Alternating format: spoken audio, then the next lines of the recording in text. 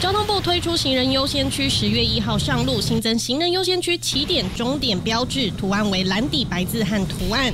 在行人优先区内，车速不得超过二十公里，一般超速最重处两千四百元罚款，严重超速最重罚三万六千元。而行人可以在行人优先区道路全宽通行，不需要靠路边走。如果汽机车按喇叭驱赶行人，可罚三百到六百元。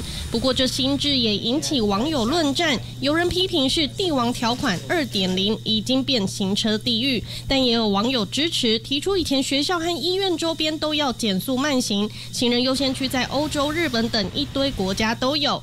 交通部则表示，行人优先区在学区、商圈等部分路段设置，不会在主干道。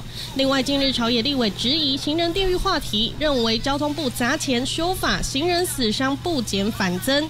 交通部长陈世凯坦言，交通状况确实引发担忧。行人事故以长者居多，会加强宣导。东森新闻生活中心做报道。